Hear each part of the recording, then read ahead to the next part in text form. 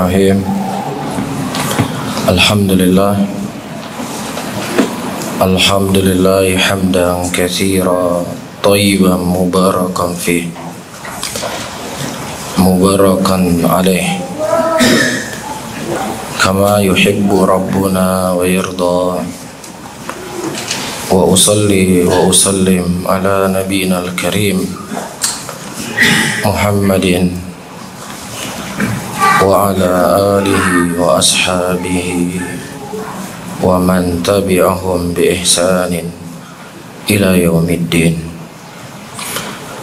Saudara-saudaraku kaum muslimin dan kaum muslimat Rahimani wa rahimakumullah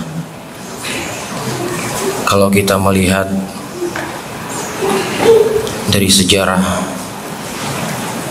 Perjuangan dakwah Rasulullah sallallahu alaihi wasallam. Sebelum beliau diangkat sebagai rasul beliau adalah orang yang paling dipercaya. Beliau dilakopi sebagai al-amin. Bahkan dalam masalah-masalah besar Rasulullah Sallallahu Alaihi Wasallam dijadikan sebagai rujukan. Sebagaimana disebutkan oleh Imam Bukhari di dalam Sahih beliau, lima tahun sebelum Rasulullah Sallallahu Alaihi Wasallam diangkat sebagai Rasul. Tepatnya umur beliau 35 tahun. Terjadi kerusakan di Ka'bah. Di antara yang menyebabkan rusaknya Ka'bah pertama banjir besar yang melanda kota Mekah pada waktu itu. Yang kedua, ada seorang wanita yang membakar Ka'bah sehingga sebagian Ka'bah rusak. Kemudian datang salah seorang dari pembesar Quraisy untuk memperbaiki Ka'bah.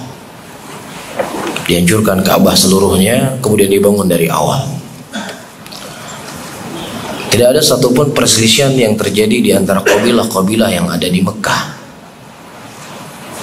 Masing-masing mereka membangun Ka'bah dari sisinya.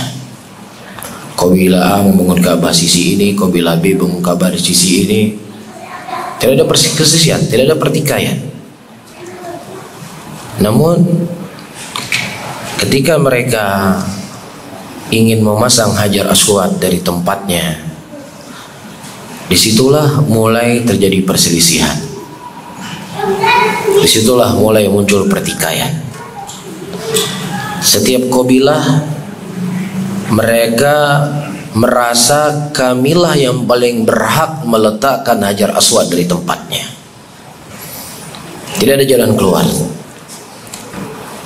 Bahkan setiap kabilah pada waktu itu sudah mengangkat senjata-senjata mereka untuk berperang. Di tengah gentingnya permasalahan,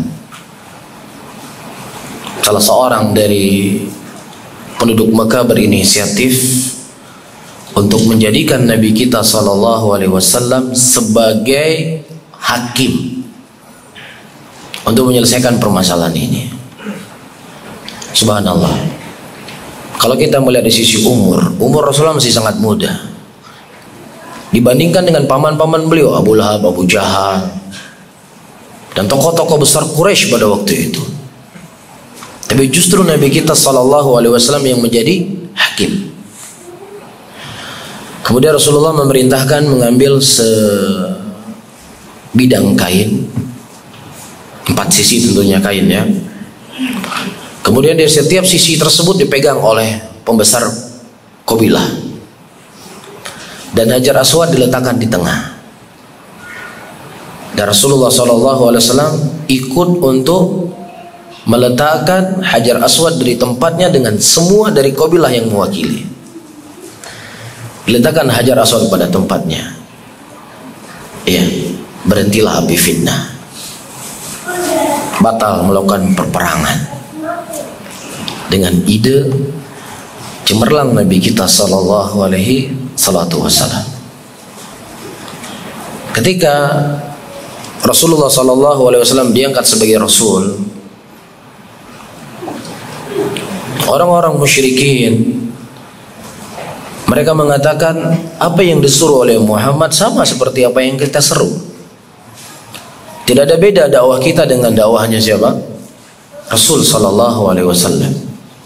Karena Rasulullah masih menjelaskan Islam secara mujmal. Rasulullah masih menerangkan Islam secara global. Tidak ada perselisihan pada waktu itu. Namun ketika Rasulullah mulai merinci dakwah beliau, beliau mulai berbicara tentang tauhid. Beliau mulai berbicara tentang kesyirikan. Beliau mulai mengkritik kebiasaan-kebiasaan jahiliyah orang-orang Quraisy. Beliau mulai mengkritik pembesar-pembesar Quraisy Di situlah mulai terjadinya pertikaian. Di situ mulai terjadinya peperangan, intimidasi kepada Rasulullah Sallallahu Alaihi Wasallam dan Muslimin yang masuk Islam pada waktu itu. Hingga pada puncaknya Rasulullah Sallallahu Alaihi Wasallam diusir dari kota kelahiran beliau. Pernah diusir dari Taif sebelumnya yang tadinya beliau dilakopi sebagai Al-Amin. Bahkan kalau seandainya Rasulullah mengkhabarkan akan keluar unta, kuda dari gunung ini, mereka percaya. Yang terkadang itu nggak masuk akal. Kok bisa ada kuda unta, gunung apa, kuda keluar dari gunung? Tapi mereka percaya. Namun ketika Rasulullah mengkritik agama mereka, mengkritik kebiasaan mereka, Di situlah mulai lakop-lakop majnun, tukang sihir, pemecah belah umat. Beraneka ragam lakop-lakop yang jelek dinisbatkan kepada Nabi kita Muhammad sallallahu alaihi wasallam. Siapa saja yang datang dari dari keluar kota Mekah Orang musyrikin Quraisy selalu mereka membisikkan hal-hal yang jelek tentang Nabi kita Muhammad sallallahu alaihi wasallam. Disebutkan dalam sebuah kisah seorang sahabat yang bernama Tufail bin Amr Ad-Dausi radhiyallahu taala seorang pemuda yang cerdas.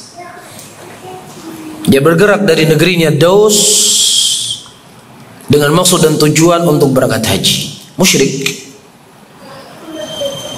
Iya, tidak ada keinginannya untuk mencari tahu tentang Muhammad dan apa yang terjadi perselisihan di antara mereka. Setiba di Mekah, Tufail bin Amr ad-Dawsi karena dia adalah pembesar dari kaumnya disambut oleh penduduk Mekah. Disambut oleh pembesar-pembesar Mekah dihidangkan dengan makanan yang lezat disambut bak seorang raja. Mulai mereka masuk pelan-pelan wahai Tufail di negeri kami ini ada seorang laki-laki yang bernama Muhammad dia mengaku dirinya sebagai nabi dan dia sudah merusak tatanan kehidupan kami di sini. Dia sudah memisahkan di antara ibu dengan anak. Dia sudah memisahkan di antara teman dengan teman. Dia telah memisahkan di antara saudara dengan saudara. Dan dia telah membuat hal yang begini dan begini dan begini. Ya akhirnya Tufail bin Amr ad-Dausi ketakutan sendiri. Ya, jangan sampai apa yang terjadi di kota Mekah dari perbuatan Muhammad ini bisa menyebar virusnya ke ke negerinya. Hampir-hampir dia ingin menutup telinganya, menutup hatinya. Jangan sampai terdengar ucapan si Muhammad ini. Apa yang terjadi? Ketika Tufail bin Amr datang ke Ka'bah dan dia tawaf. Dari kejauhan dia melihat baginda Nabi Muhammad sallallahu alaihi wasallam. Pandangan yang begitu menyejukkan seorang rasul. Tanpa terasa Tufail bin Amr mendekat mendekat mendekat. Tadinya dia sudah dihantui hal yang ngeri-ngeri dia sudah disebutkan hal-hal yang angker tentang Rasul sallallahu alaihi wasallam tapi ketenangan Rasulullah Sallallahu Alaihi Wasallam itu tidak bisa menipu manusia. Kebenaran itu terkadang nggak bisa dihentikan, nggak bisa di stop. Justru Tufail bin Amr mendekat, terus mendekat. Tiba-tiba terdengar di telinganya alunan Al-Quran yang dibaca oleh baginda Nabi Muhammad sallallahu alaihi salatu wassalam. Kemudian Tufail berkata dalam hatinya, Wahai Tufail, engkau adalah seorang yang berakal. Engkau adalah orang yang pintar. Kalau seandainya itu kebaikan, kau tahu. Tapi kalau seandainya itu kejelekan, kau juga ngerti. Akhirnya tanpa terasa Tufel berkata, aku sudah berada di sampingnya. Tadi ingin menjauh, ngeri kedengarannya. Tapi hidayah. Kemudian Tufel berkata, wahai Muhammad, aku mendengar sesuatu yang jelek tentang engkau dari kaummu. Perhatikan Rasulullah nggak sibuk eh dia ngomong apa ke saya? Hah? Apa dia ngomong? Gak betul semua dusta itu. Nggak ada. Rasul nggak sempat ngurus-ngurusin kayak gitu. Nggak sempat Rasul Shallallahu Alaihi Wasallam. Beliau fokus dengan hal yang paling penting. Ketika Tufel bertanya, wahai Muhammad, apa sebenarnya ajaranmu? Apa sebenarnya agamamu? Iya, kalau memang itu hal yang penting, hal yang perlu diluruskan, diluruskan. Kemudian mulai Rasulullah membicarakan tentang Islam, membicarakan tentang tauhid, tentang dinul Islam yang mulia ini. Kemudian Tufail mengucapkan asyhadu an la ilaha illallah asyhadu anna Muhammad Rasulullah. Dia pulang ke negerinya, dia ajak negeri kaumnya untuk masuk Islam ya, dan seterusnya dari cerita. Kita bukan ini yang kita ingin fokus. Ya, walaupun waktu itu Abu Hurairah radhiyallahu taala anhu adalah orang yang pertama masuk Islam di tangannya Tufail bin Amr Ad-Dausi radhiyallahu taala anhu. Saya ingin kita cerita. Pergolakan itu mulai muncul ketika tauhid dinampakkan. Ketika kesyirikan mulai dibasmi. Ketika kebiasaan-kebiasaan jahiliyah mulai dikritik di situlah mulai terjadinya permusuhan. Yang kemudian Nabi kita Sallallahu Alaihi Wasallam diusir dari kota Makkah. Boleh sebagai seorang manusia sedih diusir dari kampungnya. Sampai-sampai beliau berkata ya Mekah anak uhibbuk. Wahai Mekah saya sangat mencintaimu. Kalau seandainya saya tidak diusir dari ini, saya tidak akan keluar dari tempatmu. Jadi semenjak munculnya Islam, agama yang mulia ini terus diuji dan dicoba oleh Allah Subhanahu wa taala. Kalau seandainya Islam itu bukan datang dari Allah, dia sudah lenyap semenjak munculnya. Sudah lenyap. Karena Islam adalah agama yang datang dari Allah sebesar apa pun gangguan, cobaan, pembaikotan, intimidasi, penghentian, wallahi mereka tidak akan mampu. Karena Allah telah berjanji dalam Al-Quran, yuriduna liyutfi'u Allah bi afwahihim, wallahu mutimmu nurihi walau karyal kafirun. Mereka ingin memadamkan cahaya Allah dan mereka tidak mampu untuk memandamkan cahaya Allah Allah akan terus akan mencahayakan agama ini setelah meninggal Rasulullah Sallallahu Alaihi Wasallam dan ini merupakan musibah yang paling terbesar yang melanda muslimin tidak ada musibah yang lebih besar yang menimpa muslimin sebesar apa pun musibah itu lebih dari meninggal manusia yang paling terbaik di muka bumi ini Bahkan Umar yang begitu kokoh, begitu kuat, begitu tegar dalam segala permasalahan. Tapi beliau kerdil ketika itu. Kerdil dalam arti kata karena bentuk kecintaan beliau kepada Rasul. Beliau mengatakan Rasulullah tidak meninggal. Siapa yang mengatakan Rasulullah meninggal aku kesembelih kepalanya. Rasulullah pergi sebagaimana pergi Musa dari kaumnya dan dia akan kembali. Musa kembali dari bertemu dengan Allah dia kembali kepada kaumnya begitu juga Nabi akan kembali kemudian Abu Bakar Siddiq memastikan Apakah benar Nabi Sallallahu Alaihi Wasallam sudah meninggal? Masuk Abu Bakar ke rumah Aisyah radhiyallahu taala anha dan memang beliau melihat Rasulullah sudah meninggal. Ini fitnah yang terbesar. Di negeri Yaman, seorang laki-laki yang bernama Aswad al-Insi dia mengaku dirinya sebagai nabi. Di hari meninggal Rasulullah, orang-orang yang memiliki penyakit dalam hatinya mulai menampakkan kenifakannya. Orang-orang yang lemah imannya sudah mulai goyang. Beraneka ragam fitnah yang terjadi. Tapi subhanallah. Lagi-lagi kita katakan agama inilah agama Allah. Agama ini bukan agama buatan manusia, dia akan hilang. Tidak. Inna nahnu nazzalna dzikra wa inna lahu lahafidun. Sesungguhnya kami yang menurunkan agama ini dan kami pula yang menjaganya kata Allah. Berdiri seorang sahabat yang kecil badannya kurus. Sampai-sampai tidak ada kain yang bisa diletakkan di pinggang Abu Bakar Siddiq radhiyallahu taala saking kurusnya beliau. Beliau diberikan izin oleh Rasulullah untuk bisa memakai celana di bawah pakaian di atas mata kaki karena nggak ada nggak ada pinggang. Kalau kita kan masya Allah perutnya bisa Jangankan kain anak pun bisa kita taruh di sini. Kan gitu. Abu Bakar Siddiq nggak ada yang bisa lengket kain beliau di pinggangnya. Tapi subhanallah dengan tegas beliau berkata, "Man kana ya'budullah fa Allah hayyun wa la yamut." Wa man kana ya'budu Muhammad fa inna Muhammad qad mat. Wa tala qawlahu ta'ala wa ma Muhammadun illa rasulun qad khalat min qabli rasul. Barang siapa yang seseorang menyembah Allah, Allah hidup selama-lamanya.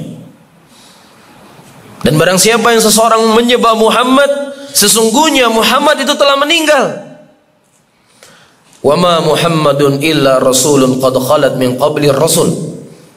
Tidaklah Muhammad itu kecuali dia seorang rasul yang sebelumnya telah datang rasul-rasul dan semuanya sudah meninggal. Dalam riwayat yang lain, Abu Bakar Siddiq membaca ayat innaka mayitun wa innahum mayitun. Sesungguhnya engkau Muhammad akan meninggal dan juga sebagaimana mereka juga sudah meninggal. Abdullah ibn Abbas radhiyallahu taala anhu berkata, ayat inilah ayat yang sering kita baca. Ayat yang sering kita dengar tetapi karena dahsyatnya fitnah meninggal Rasulullah sallallahu alaihi wasallam seakan-akan ayat ini baru diturunkan oleh Allah hari ini. Anda bisa bayangkan fitnah yang begitu besar melanda muslimin pada waktu itu. Setelah Rasulullah sallallahu alaihi wasallam dikubur, mulai muncul orang-orang munafik. Mereka tidak membayar zakat. Mereka menampakkan pembangkannya kepada Islam lagi-lagi agama ini milik Allah. Agama ini bukan milik Abu Bakar, bukan milik Fulan, bukan milik Alan. Agama ini datang dari langit ketujuh. Fitnah begitu besar menimpa kekhalifan Abu Bakar Siddiq. Alhamdulillah bisa beliau selesaikan fitnah tersebut. Sampai-sampai Al-Imam Ali bin Madini rahimahullah Gurunya Al-Imam Bukhari berkata, Hafidallahu hadha din birajulin bi Abi Bakrin yawmul riddah wal Imamul Ahmad yawmul mihna. Allah menjaga agama ini dengan dua orang laki-laki. Abu Bakar Siddiq radhiyallahu taala ketika terjadi yawmul riddah hari di mana orang banyak murtad dan Imam Ahmad hari ketika terjadi fitnah khulqul Quran wafat Abu Bakar Siddiq radhiyallahu taala anhu. Diganti oleh Umar bin Khattab radhiyallahu taala anhu. Beraneka ragam ujian dan cobaan. Yang terjadi di zaman kekhalifan Umar bin Khattab radhiyallahu taala anhu ya akhirnya Umar bin Khattab terbunuh. Ketika beliau hendak menyalati sholat subuh ketika beliau sedang mengimami sholat subuh pada waktu itu meninggal Umar bin Khattab syahid di jalan Allah Subhanahu wa taala. Apakah Islam hilang? Hilang Islam? Islam tidak hilang. estafet selanjutnya digantikan oleh Uthman bin Affan radhiyallahu taala anhu. Yang di zaman Rasulullah yang ada mukminin, musyrikin, munafikin. Ya, begitu juga di zaman Abu Bakar Siddiq. Begitu juga di zaman Umar bin Khattab yang mana Rasulullah mengatakan ya meninggalnya Umar bin Khattab terbuka pintu fitnah yang fitnah itu tidak akan tertutup sampai yaumul qiyamah. Mulai muncul di zamannya Uthman bin Affan orang-orang Khawarij. Mulai muncul kelompok Asabaiyah yang mereka mengaku diri mereka Islam. Mulai membuat pergerakan-pergerakan untuk membenci Uthman bin Affan radhiyallahu taala anhu ya akhirnya syahid Uthman bin Affan di rumahnya ketika beliau sedang membaca Al-Quranul Karim Apakah Islam hilang setelah meninggalnya Uthman? Islam tidak hilang. Terus estafet dilanjutkan oleh Ali bin Abi Thalib radhiyallahu taala Fitnah semakin besar. Perkota-perkotaan muslimin semakin banyak. Ada kelompok Syiah, ya walaupun Syiah kita tidak anggap Islam ya.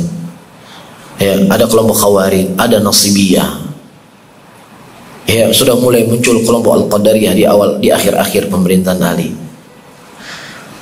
Beraneka ragam.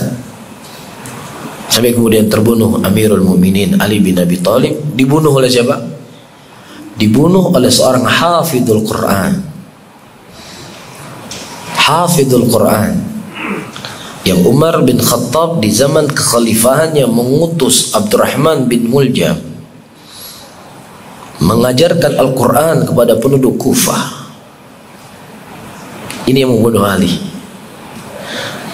Ya hafid Al-Quran.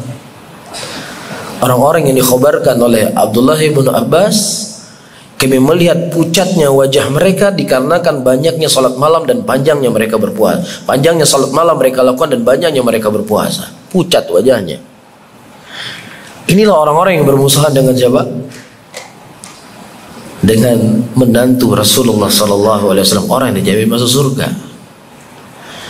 Karena orang-orang di luar sana ya dulu Rasulullah ditantang oleh orang kafir ditantang oleh musyrikin lah kalian itu ditantang sama muslimin. Mana sama ada disamakan. Kalian dibenci oleh muslimin. Jadi gimana kalian bawa kisah Rasulullah harus keluar dari kota Mekah diusir? Diusir sama Abu Lahab. Lah kalian siapa yang usir yang usir kalian orang Islam. Jadi mau sama-samain diusirnya kalian dengan diusirnya Rasulullah? Mas emang betul di zaman Rasul itu yang ada hanya orang kafir dengan orang muslim tapi di zaman khalifah perhatikan siapa yang menjadi musuh para khalifah Hah? Bukan hanya dari penyembah berhala, bukan saja dari musyrikin, dari Yahudi, tapi dari orang yang hafidul Quran. Orang yang ahli dalam qiraah. Orang yang panjang solatnya. Orang yang banyak puasanya. Dibunuh. Ali bin Abi Thalib radhiyallahu taala anhu. Sampai-sampai ketika Abdurrahman bin Muljam dieksekusi. Ya karena dia ini mufsid fil ard Bukan hanya saja dibunuh, tapi bagaimana hakim ingin membunuhnya. Dipotong tangannya, nggak bergeming sedikit pun. Dipotong kakinya, nggak bergeming, tetap dalam keadaan dia berzikir kepada Allah Subhanahu Wa Taala. Khawarid zaman ini, khawarid banci, pengecut. Ngomong ngawat perintah gini, gini, gini, tangkap polisi. Mohon maaf, saya nggak sengaja. Minta maaf. Nangis.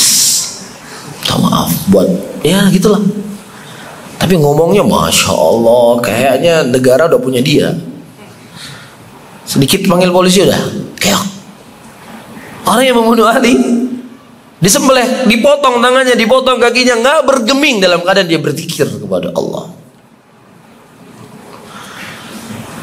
Ketika lidahnya mau dicopot, mau digunting di situ dia mulai teriak Kenapa? Dia takut ketika malaikatul maut mencabut nyawanya dia tidak bisa mengucapkan la ilaha illallah tidak bisa menyebut kalimat tauhid sebelum dia mati Inilah orang yang membunuh Ali bin Abi Thalib radhiyallahu taala anhu.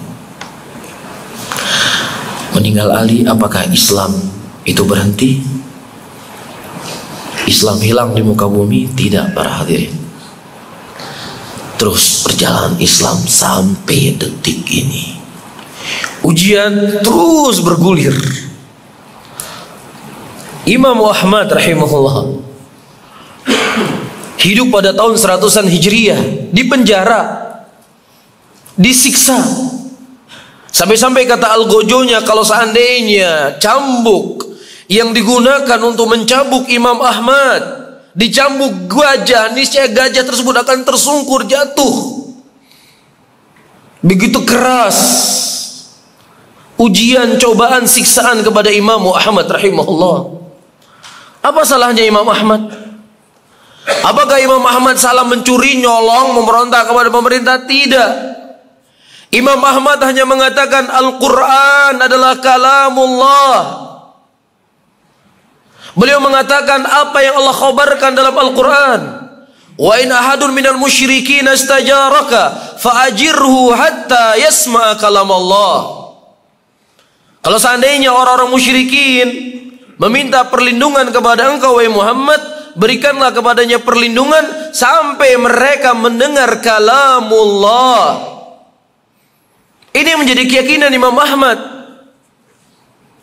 Iya, wa kallamallahu Musa taklima. Allah berbicara dengan Musa dengan sebuah pembicaraan. Ini sudah menjadi pokok dan pokok akidah al-sunnah mengatakan Al-Quran adalah kalamullah. Ini yang menjadi sebab mereka mengkafirkan Imam Ahmad. Ini yang menjadi sebab mereka menyiksa Imam Ahmad. Ini yang menjadi sebab Imam Ahmad tidak boleh menyebarkan ilmu beliau. Besar-besarnya ujian kita hari ini masih bisa kajian kok. Sana nggak boleh, nah di sini boleh kan gitu. Imam Ahmad nggak boleh. Itu di tahun 100 Hijriah atau 200 Hijriah yang dekat dengan zaman kenabian. Islam sunnah Rasulullah sudah menjadi asing. Innal Islam bada ghariban wa sayaudu ghariban kama bada fatuba lil ghuraba. Kama jaa fil Muslim an hadits Abi Hurairah radhiyallahu taala anhu. Islam itu datang dalam keadaan asing dan dia kembali sebagaimana datangnya maka berbahagialah orang-orang yang asing. Jadi keterasingan Islam itu bukan hanya di tahun 2019 di 2019 Masehi.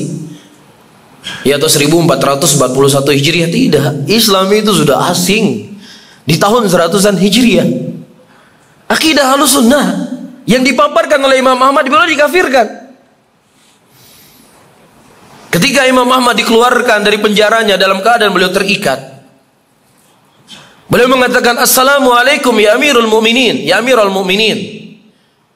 Pada waktu itu pemimpin tidak mau menjawab salam Imam Ahmad karena dia menganggap Imam Ahmad sudah kafir. Kenapa Imam Ahmad dikafirkan? Mengatakan Al-Quran kalamullah. Sebab itu beliau dikafirkan. Lah masih dibilang Wahabi saja kok ribut. Kan gitu. Masih bilang Wahabi. Biasa. Imam Ahmad dikafirin. Coba. Iya, dalam keadaan beliau sudah menghafal satu juta hadis Rasul Wasallam punya guru Imam Syafi'i, gurunya jelas, Imam Syafi'i gurunya. Kurang apa coba? Tapi subhanallah, intimidasi, pembekotan terus terjadi. Jadi, ayo ikhwah wal akhwat rahimani wa rahimakumullah. Ini medan medannya para lelaki. Kalau antum tidak siap jadi laki-laki jangan coba-coba mendekat. Ya jangan coba-coba apa? Mendekat. Ini medannya laki-laki. Ini arenanya para lelaki. Kalau antum tidak siap jadi laki-laki jangan mendekat. Karena akan tersingkirkan. Karena ujian demi ujian akan dilalui ya. Jadi intinya apa? Intinya di zaman 100 Hijriah sudah demikian keadaannya. Saya akan membaca. Ayo rahimani wa rahimakumullah. Sebelum kita membahas per poin dari kajian kita di pagi menjelang siang hari ini, Allah menyebutkan sebuah ayat di dalam Al-Qur'anul Karim. Wa kadzalika ja'alna likulli nabiyyin syayatin al-insi wal jin yuhi ba'dhum ila ba'din zukhrufal qawli gurura. Dan demikianlah kami jadikan setiap nabi itu musuh. Syaitan dari kalangan jin dan syaitan dari kalangan manusia. Yang mereka saling menguatkan antara satu dengan yang lainnya dengan kalimat-kalimat yang apa? Yang dihiasi-hiasi seakan-akan itulah sebuah kebenaran. Seakan-akan itulah sebuah al-haq. Ya, ini sudah menjadi sunatullah. Makanya saya katakan tadi ini medannya apa? Lelaki. Bukan akhwatnya nggak boleh. Ini laki-laki maksudnya sifat. Bukan kita cerita kelamin. Bisa saja seorang perempuan sifat laki-lakinya lebih laki-laki dari laki-laki kan gitu. Atau bisa saja seorang laki-laki sifatnya jauh daripada sifat kelelakian. Jadi orang Arab itu kalau menyebutkan huwar rajul itu menyebutkan sifat, ketegaran, kekuatan, sabar. Ya, bukan yang apa seperti kerupuk. Kelihatannya sih keras, siram air sedikit lembek. Laki-laki itu seperti gunung datang ombak sebesar pun dia tidak akan bergeser itu laki-laki namanya Makanya saya katakan kalau siap menjadi laki-laki ahlan wa sahlan bikum kalau tidak saya menjadi laki-laki minta doa sama Allah agar bisa dijadikan seperti laki-laki kan gitu kan ayo li rahimani rahimakumullah disebutkan oleh al-imam As-Sabuni rahimahullah Al-Imam As-Sabuni adalah seorang ulama dari kalangan Syafi'iyah dan beliau murid dari Muhammad Ibnu Khuzaimah rahimahullah Ibnu Khuzaimah murid dari Imam Al-Muzani Al-Muzani muridnya Syafi'i rahimahullah sedikit kita keluar. Kalau kita berbicara tentang madhab syafi'iyah dari semua madhab yang ada di dalam Islam yang empat itu maka literasi dalam madhab syafi'iyah itu lebih banyak dibandingkan madhab yang lainnya. Bahkan sebagian ulama menyebutkan di antara empat madhab sebagian ulama ya madhab syafi'iyah lah madhab yang paling kuat dari antara empat madhab tersebut. Karena banyaknya literasi di dalam madhab syafi'iyah maka akan sangat mudah bagi kita untuk mengenal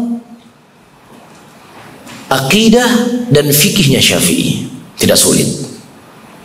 Tidak apa? Tidak sulit. Kalau kita mau berbicara dalam masalah fikih orang yang mengaku dirinya sebagai madhab Syafi'i. Anda tidak dikatakan Syafi'i kalau anda tidak mengenal kitabnya Al-Imam Bayhaqi Al-Bayhaqi adalah ulama Syafi'iyah yang dia kalangan ulama muhakkikin dari kalangan Syafi'iyah. Beliau menulis kitab Sunanul Kubra, Sunanul Usta, Sunanul Sugra yang hampir di dalamnya menukilkan semua ucapan Syafi'i rahimahullah. Ya, dan juga jangan kita mengaku sebagai Syafi'i kalau tidak menjadikan kitab Al-Imam Nawawi Syarul Muhadzab sebagai rujukan. Karena ini merupakan kitab fikih Syafi'i yang paling terbesar. Sampai-sampai disebutkan oleh para ulama kalau seandainya kitab fikih Syarul Muhadzab miliknya Al-Imam Nawawi selesai ditulis oleh Al-Imam Nawawi, maka niscaya menjadi kitab fikih yang paling terbesar di alam Islam. Cuma Imam Nawawi beliau meninggal muda sehingga beliau hanya menulis sampai jilid ke-9 dari kitab Syarul Muhadzab. Ya, ini kitab fikih Syafi'i yang paling terbesar. Kalau kita bicara masalah masalah akidah, karena nggak mungkin Imam Syafi'i hanya mengajarkan fikih untuk kita tidak mengajarkan akidah. Ini nggak mungkin. Karena perkara fik akidah itu lebih pondasi dibandingkan dalam masalah fikih. Dan nggak mungkin juga Imam Syafi'i nggak ngerti akidah nggak mungkin. Karena tidaklah Allah menciptakan kita kecuali untuk apa? Mentauhidkan Allah wa ma khalaqtul jinna insa illa liyabudun. Dan tidaklah aku menciptakan jin dan manusia kecuali untuk aku beribadah kepadanya. Untuk kita beribadah kepada Allah Subhanahu wa taala kan begitu? Ya nggak mungkin. Makanya saya sebutkan tadi di antara semua literasi kitab dalam imam madhab maka dalam madhab syafi'i paling banyak kitabnya. Syar sunnah. Ya atau kitab Aqidati Salaf Asabil Hadith. Beliau Syafi'i. As-Sabuni Syafi'i. Syarh Sunnah Al-Muzani. Beliau juga Syafi'i. Kitab Syarh Sunnah. I'tiqad Al-Sunnah wal Jamaah Lilikai juga Syafi'i. Syarh Sunnah Al-Barbahari juga Syafi'i. Kitab Aimmatul Ahli Hadith dan juga Al-Imam Al-Humaidi, gurunya Al-Bukhari juga seorang Syafi'i. Syekh Abdul Razak Al-Abad hafizahullah menyebutkan di muqaddimah kitab Syarh Sunnah lil Muzani dari ulama-ulama Syafi'iyah yang menulis kitab-kitab akidah dalam madhab Syafi'i. Beliau sebutkan semua nama judul kitabnya ulama yang lahir di tahun berapa. Syekh Al-Alama Abdul Razak Al-Abad dalam kitab beliau tersebut. Jadi tidak ada yang tersembunyi bagi orang yang mengaku intima kepada madhab syafi'i. Ya syafiqinya atau akidahnya. Namun ayol hadirun ul hadirat yang dirahmati oleh Allah. Terkadang nama-nama besar itu suka dicomot oleh orang-orang yang tidak bertanggung jawab untuk menutupi apa? kekurangan mereka. Allah menyebutkan sebuah ayat di dalam Al-Qur'an Al-Karim ya maka na Ibrahimu Yahudiya wala Nasraniya walakin kana hanifan muslimah. Tidaklah Ibrahim itu seorang Yahudi dan juga tidak pula seorang Nasrani. Dia orang Yahudi dia mengaku kami pengikut Nabi Ibrahim. Orang Nasrani mengatakan kami pengikut Nabi Ibrahim. Dia mengatakan Isa sebagai anaknya Tuhan dia katakan kami pengikut Nabi Ibrahim. Yahudi memburu pada Rabi membunuh para Rasul kami pengikut Nabi Ibrahim Masing-masing mengaku kami adalah orang yang paling Ibrahim. Allah bantah dalam Al-Quran. Maka na Ibrahimu Yahudiya wala Nasraniya walakin kana hanifan muslimah. Tidaklah Ibrahim itu seorang Yahudi dan tidak pula seorang Nasrani.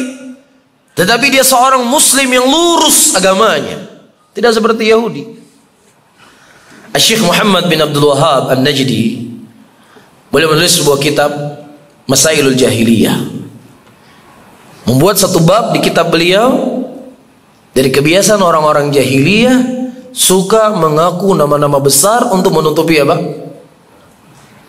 Kedok. Mafhum. Jadi ada orang masuk ke masjid teriak-teriak di masjid bubarkan kajian, kadang pakai rokok masuk dalam masjid, pakai celana pendek, ah kami Syafi'i loh ya. Syafi'i ini kami. Kapan Mas Imam Syafi'i madhab beliau mengusir orang kajian di masjid kapan? Ya, jadi semua perbuatannya ah, Syafi'i kami ini. Ya, nanti kalau isap ganja kami Syafi'i juga. Terus la haula wala quwata illa billah. Demikianlah keadaan dan kondisi. Namun ayo rahimani wa itu tidak terlalu penting buat kita sebenarnya. Yang paling penting buat kita adalah pertanggungjawaban kita di hadapan Allah itu yang paling penting. Karena yang namanya manusia bisa saja ini lo data madhab syafi'i dia bisa terima bisa tidak. Kan begitu. Faham ya? Cuman yang paling terpenting ketika Allah Subhanahu wa taala bertanya kepada kita kelak di qiyamah, kita sudah punya jawaban. Ini paling penting itu. Itu yang paling penting. Yang tadi juga penting tapi tidak sepenting dengan yang saya sebutkan tadi. Saya berakidah dengan akidah seperti ini. Saya pelajari begini, saya pelajari begini, saya pelajari begini. Saya baca kitab ini, saya ketahui demikian demikian. Demikian ayatnya. Pertanggungjawaban di hadapan Allah itu paling penting. Karena pertanggungjawab di hadapan manusia itu bisa bisa mengecewakan kita, bisa tidak mengecewakan kita. Kan begitu. Jadi tujuan kita belajar apa? Bukan pertanggungjawaban di hadapan manusia, enggak. Tujuan kita belajar sebuah akidah, itulah akan kita pertanggungjawabkan di hadapan Allah Subhanahu wa taala. Baik. Al-Imam As-Sabuni rahimahullah Beliau menyebutkan di tahun 300-an Hijriah. Ya.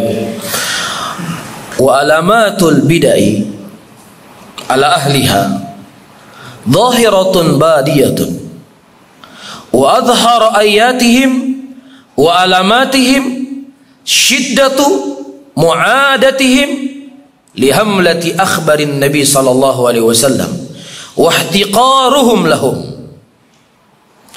alamat atau tanda al bidah ayo rahimani wa rahimakumullah perhatikan baik-baik Ketika kita sedang saya ulangi kembali. Eh ketika saya kita sedang membahas ini, ini bukan kita sedang nunjukin orang loh ya. Eh itu lebih nih ya. Enggak, kita bukan sedang nunjuk orang. Kita sedang ngaca nih. Kita sedang ngaca. Ini kira-kira saya mirip nggak dengan alul bidah? Mahfum ya? Jadi kita bukan senterin ke orang. Nah, itu bidah nih ya. Enggak. Ketika setiap kita membaca nasihat dari ulama, kita ngaca diri kita sendiri. Kira-kira saya mirip dengan alul bidah enggak? Mahfum? Ya, jadi kita membahas hal kita seperti ini bukan menganggap kita adalah orang yang pasti masuk surga selain kita semua masuk neraka. Enggak. Kita ingin mengaca. Ya, dan demikianlah ayo pelajaran dari para salaf kita. Ketika Allah menurunkan ayat alladzina amanu wa lam yalbisu imanahum bidzulmin ulaika lahumul amnu wa hum muhtadun. Orang yang beriman adalah orang yang tidak mencampur aduk keimanan mereka dengan kezaliman. Mereka adalah orang-orang yang mendapatkan keamanan dan petunjuk di sisi Allah. Para sahabat berkata, "Ya Rasulullah, siapa di antara kita yang tidak pernah berbuat kezaliman?" Ngaca para sahabat Nabi, yang mereka tunjuk diri mereka. Gak ada tenda mereka, wah ayat ini gak mungkin lah kita, kita kan orang suci. Ayat ini buat si fulan itu tuh di sana tuh. Ada. Mereka ngaca diri mereka sendiri. Mafhum? Ya, setiap pelajaran itu mereka tunjukkan diri mereka sendiri. Sekali berumar loh, Umar bin Khattab. Orang sudah dijamin masuk surga, mulham. Orang yang mendapatkan ilham. Dia datang ke tempat Hudzaifah bin Yaman radhiyallahu taala bukan kepo, tapi khawatir, rasa takut. Ya Hudzaifah, Hal sammani Nabi sallallahu alaihi wasallam minal munafiqin? Wahai Hudzaifah, apakah engkau pernah mendengar Rasulullah menyebutkan saya dari kalangan orang munafik? Takut, khawatir. Jadi ketika mempelajari sifat-sifat munafik, wah jangan-jangan saya di sini. Mahfum ya? Jelas? Mutarif bin Abdullah bin Syukhair. Seorang imam dari imam mutabi'in. Yang hidup di zaman Al-Hasan Al-Basri. Setiap beliau membaca ayat Al-Quran. Ya, dari sifat-sifat penghuni surga beliau berkata aku tidak mendapatkan diriku dari sifat-sifat yang Allah khabarkan ketika beliau membaca sifat-sifat dari penghuni neraka beliau berlindung kepada Allah subhanahu wa ta'ala agar tidak dimasukkan ke dalam golongan tersebut intinya apa? kita sedang mengaca kita sedang tidak menyorot apa? cermin ke orang lain kita sedang mengaca diri kita ya Al-Imam Sabuni rahimahullah Beliau menyebutkan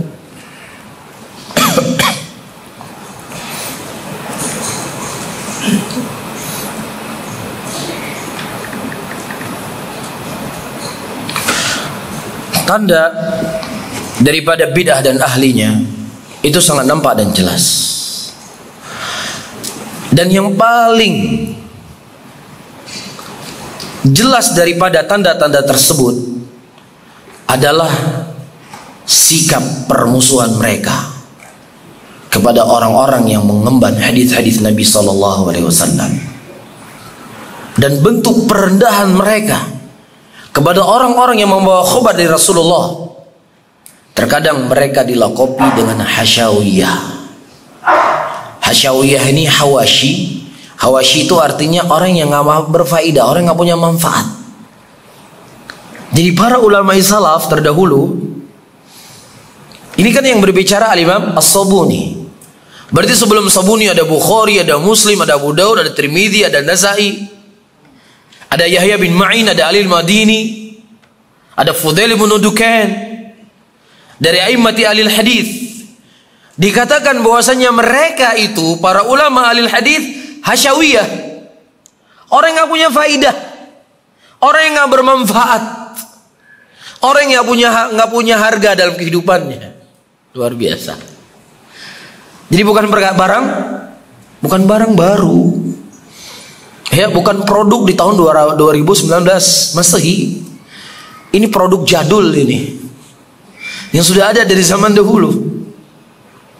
Iya. Wal musyabbihah wa zahiriyah.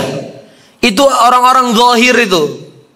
hanya memahami ayat Al-Quran cuman sekedar tekstual. Tidak melihat ayat Al-Quran dengan perkembangan zaman. Orang-orang jumut dalam memahami Al-Quran. La hawla wa.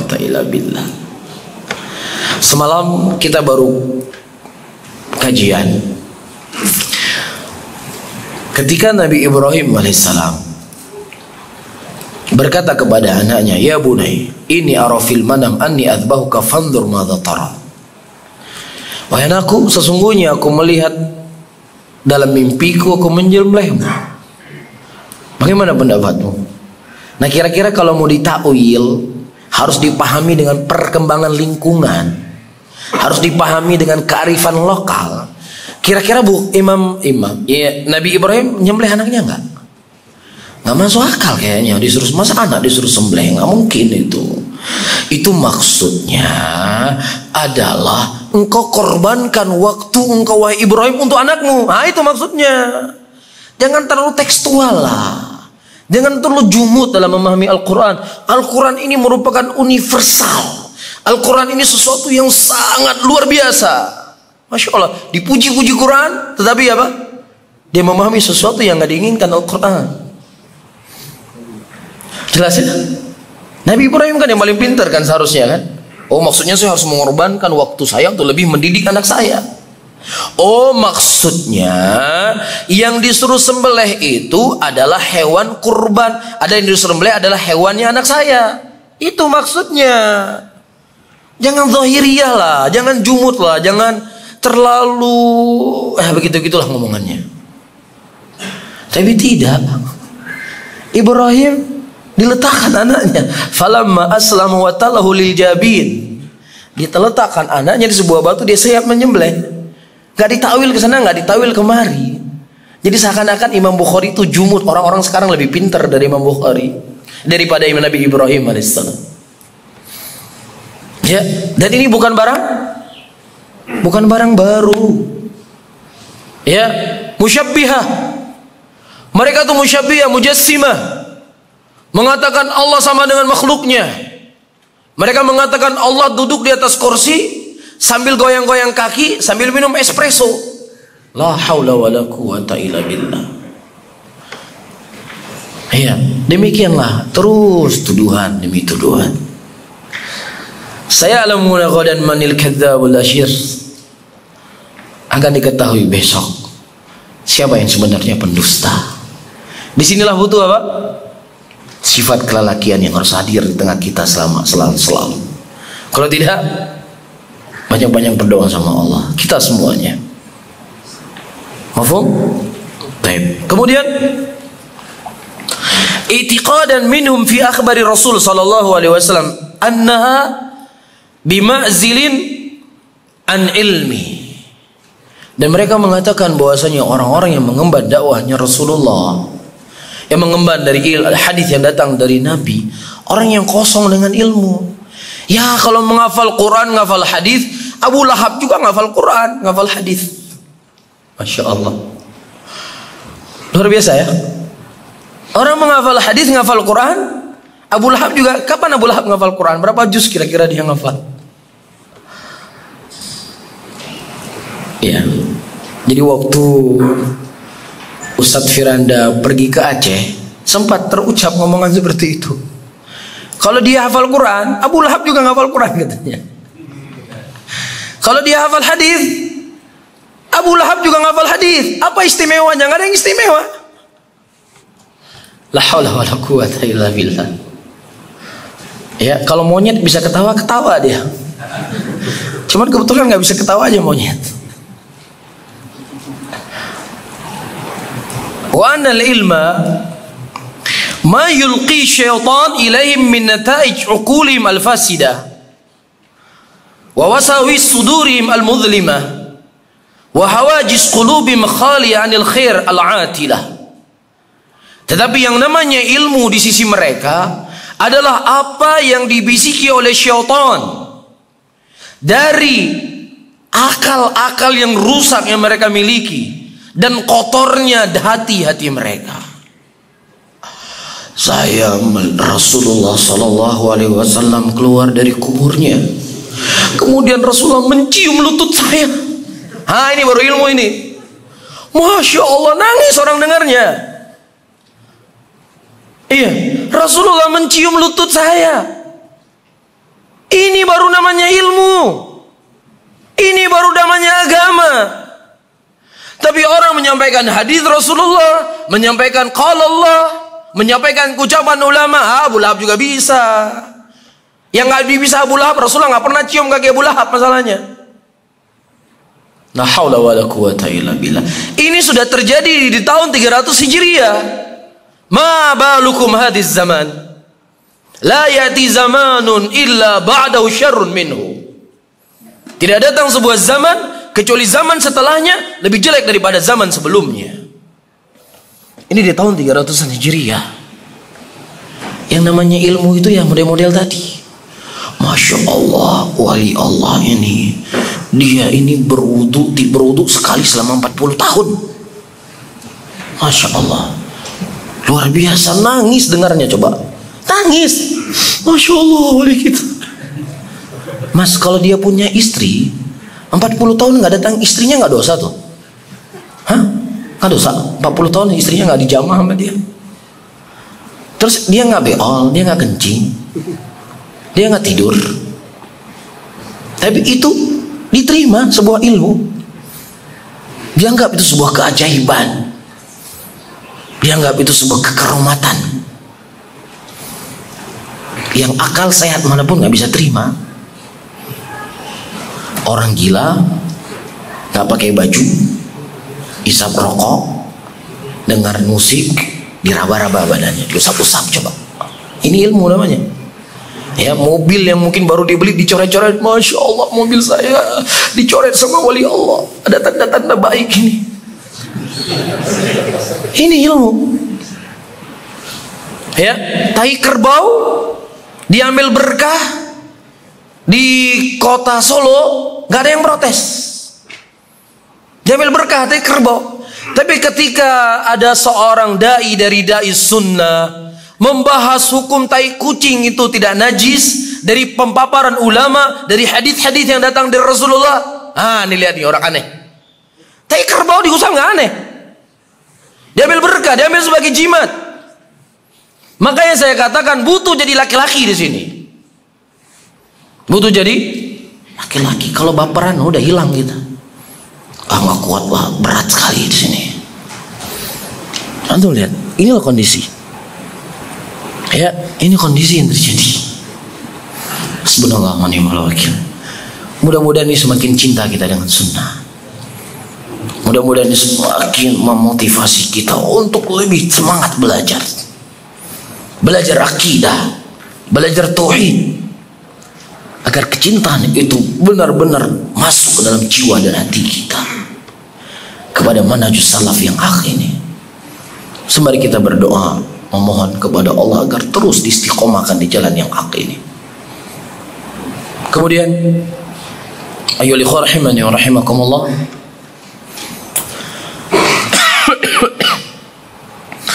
Disebutkan oleh al-Imam As-Sabuni di sini Al-Sunnah pada waktu itu mereka juga sudah dilakop dengan lakop-lakop yang jelek seperti yang sebagian sudah kita sebutkan tadi. Orang-orang Asyiah Rafidah menuduh Al-Sunnah itu adalah An-Nasibiyah. Ketika Ahlus Sunnah memaparkan kecintaan kepada sahabat Rasulullah sallallahu alaihi wasallam mencintai Abu Bakar, mencintai Umar, mencintai Uthman, mencintai para sahabat-sahabat yang lainnya. Orang Syiah Rafidah menganggap bahwasannya Ahlus Sunnah itu adalah orang yang membenci Ahlul Bait. Jadi kalau kamu cinta dengan sahabat Nabi, berarti kamu benci dengan Ahlul Bait. Ini kesimpulan mereka. Faham ya? Faham? Kullu hizbin bima ladehim farihun. Setiap hizib itu merasa bangga dengan apa yang mereka punya. Jadi mereka mencomot satu prinsip dari prinsip agama, yaitu cinta kepada ahlul baitnya Rasulullah. Kemudian mereka memahami cinta kepada ahlul bait dengan otak jeleknya, dengan hatinya yang busuk, yaitu cinta kepada ahlul bait, maka konsekuensinya mengkafirkan Abu Bakar, mengkafirkan Umar, mengkafirkan Uthman, mengkafirkan Aisyah radhiyallahu taala anhum ajma'in. Mengkafirkan seluruh sahabat Nabi. Berarti ketika Anda masih memuliakan sahabat Nabi, maka Anda adalah pembenci Ahlul Bait. Kesimpulan siapa? Syiah. Maka dilakobi sebagai Nasibiyah. Nah orang-orang Jahmiyah yang mereka menolak sifat-sifat Allah. Allah tidak punya nama, Allah tidak punya sifat. Ketika Ahlus Sunnah memahami akidah al-asma wa sifat, beriman sebagaimana datangnya dari Allah dan Rasulnya tanpa mentawil, tanpa mentakif, tanpa mentahrif, Kata mereka, mereka adalah orang-orang yang mengatakan Allah sama dengan makhluknya. Ini bukan barang baru. Ini sudah dilakopi kepada imam-imam alul hadis di zaman dulu sebagai mujassimah dan musyabbihah. Kalau seandainya bukan, kalau seandainya mereka jujur, wallahi tidak ada yang berminat. Tapi karena talbis inilah menjadi tersamarkan di tengah muslimin. Ketika kita berbicara tidak boleh mendatangi kubur dengan cara meminta-minta kepada kubur mengusap-ngusap kubur mengambil berkah dari kubur. Apa kesimpulannya? Nah, hati-hati itu. Kalau bapak ente meninggal nanti kalau ente ikut kelompok itu nggak bisa datang ke kuburan ente itu mereka anti datang ke kuburan la haula wala quwata illa billah Siapa yang nggak boleh datang ke kuburan? Seharusnya Anda jujur dong. Ya, mereka itu adalah orang yang boleh datang ke kuburan. Cuman kalau untuk curhat di kuburan, nah mereka nggak boleh. Seharusnya kan begitu kalau jujur kan? Cuman kalau dia jujur, nggak bakal laku dagangannya. Makanya harus di ah dibuat-buat macam-macam. Hati-hati sama kelompok itu. Nanti kalau bapak kamu meninggal, kamu nggak boleh mendoakan bapakmu. Bapakmu seakan-akan mati seperti mati kucing dilempar di kubur seperti itu. Hati-hati kamu. Bisa durhaka kamu sama orang tuamu kalau sudah ikut kelompok yang seperti itu. Bohong lagi nggak? Bukan bohong ya, mungkin bohong terlalu berat ya. Salah faham. Salah faham. Ya, siapa yang mengatakan tidak boleh mendoakan orang tua yang nggak boleh itu. Ya di kuburan tujuh hari tujuh malam. Baca ini baca ini baca ini dan baca itu. Kalau kita di Aceh ya ada orang Aceh di sini? Nggak ada ya? Kalau kita di Aceh kenapa harus ngaji tujuh hari tujuh malam? Karena jenazah itu akan membusuk setelah tujuh hari jadi malaikat ketika baca Quran dia nggak datang-datang di situ.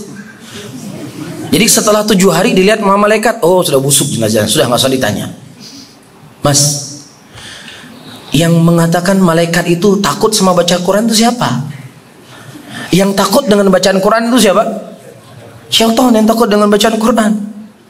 Adapun malaikat la tajma qaumun fi baiti min buyutillah yatluna kitab Allah wa yatadarusuna bainahum illa nazalat alaihimus sakinah wa rahmah wa hafatulhumul malaikatu wa dzakarallahu fi man indah Tidaklah berkumpul satu kaum di rumah-rumahnya Allah yang mereka membacakan Al-Quran, mengajarkannya, kecuali Allah menurunkan di situ ketenangan. Allah akan, akan datang malaikat menaungi majelis mereka. Yang ditakuti oleh malaikat apa? Bukan ditakuti, yang malaikat tidak masuk kalau ada apa? Kalau ada apa? Patung, anjing, terus apa lagi? Foto dan seterusnya. Jadi kita kalau bicara logika ya, kira-kira kalau malaikat, kalau bicara logika nih ya, kira-kira untuk supaya malaikat nggak datang ke kuburan tanya apa yang cocok yang dipasang? Apa cocok dipasang di situ biar malaikat nggak datang? Apa? Yang dipelihara apa di situ? Sudah saya nggak ngomong. Ini kan kalau bicara logika kan? Kalau kita bicara logika kan? Tapi itu bukan solusi. Karena namanya malaikat itu pasti datang. La yasunallah ma'amarum wa yaf'aluna ma Malaikat tidak pernah bermaksiat kepada Allah. Dia selalu akan mematuhi perintah Allah. kita sudah berada di dal dibuang ke tengah lautan, dibakar jenazah seseorang, menjadi debu, malaikat juga akan bertanya. Apalagi cuma sekedar busuk. Ini kan akal-akalan yang disengaja diterima nggak mau muslimin? Diterima. Diterima. Hal yang seperti ini diterima. Tapi kalau kita bawa hadis, wah ini wahabi ini bawa, -bawa hadis. Iya. Nah begitu juga ayo rahimani wa rahimakumullah hati-hati. Mereka orang yang anti selawatan. Mereka orang anti berzikir. Coba seandainya mereka mau jujur, mereka itu nggak boleh selawatan, selawatan kayak kita joget-joget. Seharusnya kan begitu. Yang diiringi dengan musik. Kalau lagi suka lagi tren musik dangdut ini ada dangdutan mereka sambil bersalawat. Seharusnya demikian kamu sampaikan kepada umat. Jangan ada mentalbis di tengah umat Islam. Namun lakukanlah apa pun yang ingin kalian lakukan silahkan. Cuman yang jelas setiap apa yang kalian lakukan akan dipertanggungjawabkan di hadapan Allah. Begitu juga kami setiap apa yang kami lakukan juga akan dipertanggungjawabkan di hadapan Allah. Nauzubillah. Padahal kalau kita mau cerita, mereka terkadang buat undangan, undangan acara itu ya, fam, acara hal Rasulullah. Kami ingin mengundang para hadirin semuanya, bapak dan ibu, acara ini ini Muhammad SAW ini membuat acara kecintaan kepada Rasulullah. Salawat sallallahu alaihi wasallam aja berat. SAW ngomongnya. Jadi gimana anda mau menampakkan kecintaan kepada Rasul? Menulis sallallahu alaihi wasallamnya disingkat jadi SAW jadi apa kecintaan kita kepada Rasul? Maafkan di sini ya Beginilah kondisi dan keadaan. Taib. Sampai jam berapa kajian kita? Hah? Sampai jam 11 ya? Kita kontrol belum kita sebenarnya saya ingin membahas poin 1, poin 2, poin 3 tapi coba saya ringkas. Ya. Maksud dari kajian kita di siang hari ini saya ingin membahas tentang hal-hal yang rancu di tengah-tengah muslimin yang ini mimbab unsur akhaka zaliman au madluman. Tolonglah saudaramu yang mendolimi dan saudaramu yang terdolimi. Para sahabat bertanya ya Rasulullah kalau orang yang mendolimi kami tahu harus di orang yang terdolimi jelas kami tahu bagaimana cara menolongnya tetapi bagaimana orang yang dia mendolimi? Bagaimana cara kita menolong mereka? Kata Rasulullah, pegang tangannya. Nasihati dia, ingatkan dia dari kezaliman tersebut. Min hadal bab.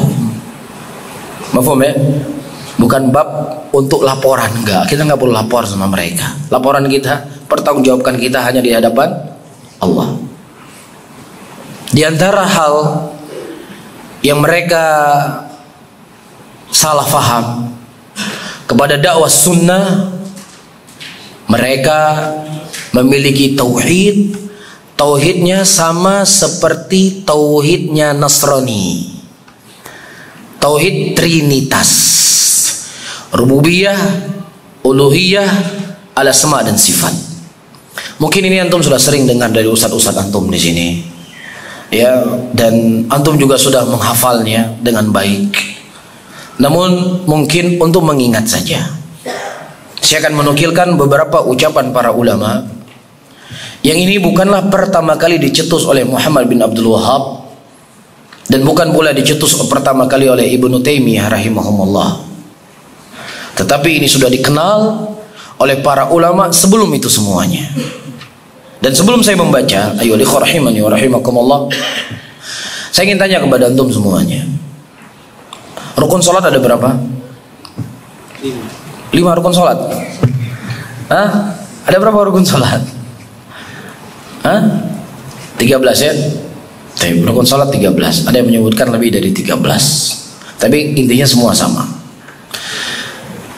Apakah ada dalil dari Nabi Shallallahu Alaihi Wasallam yang menyebutkan dalam satu hadis tentang rukun salat?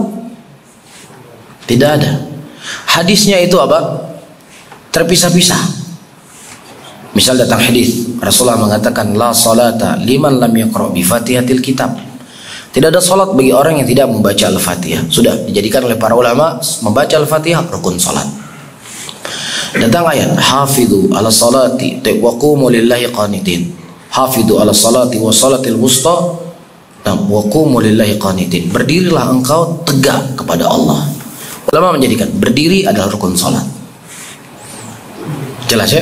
Jadi tidak ada satupun ayat, tidak ada satupun hadis yang menyebutkan rukun salat itu ada 13. Tetapi istiqra dan tatabunya para ulama dari dalil-dalil yang datang tersebut mereka apa?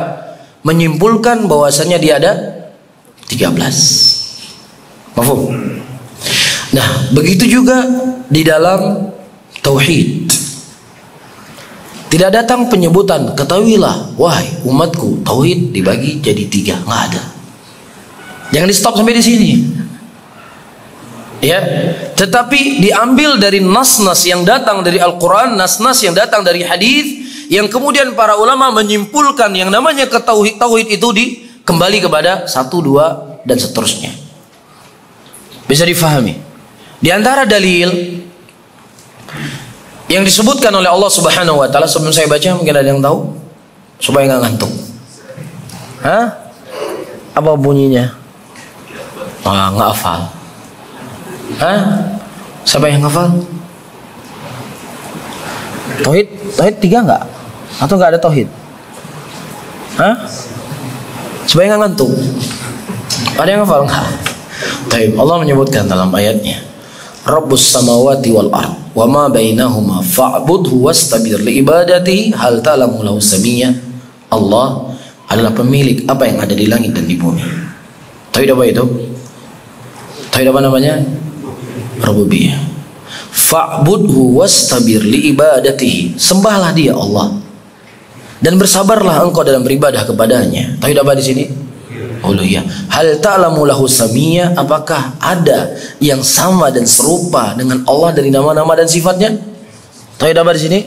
Asma wa sifat. Jadi ulama melihat dari ayat ini dan kemudian mereka menyimpulkan tauhid itu ada berapa? Ada tiga. Dan juga Allah menyebutkan dalam ayatnya.